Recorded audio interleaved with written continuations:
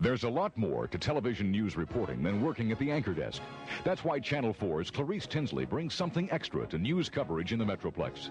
Clarice knows how important it is for a reporter to get involved, get out and cover the news firsthand. And it's that something extra that leads to special reports, like the TV repair series that Clarice worked on. Clarice Tinsley, she spends her time working for you. And the next time you see Clarice at the Channel 4 anchor desk, you can be sure she knows what she's talking about.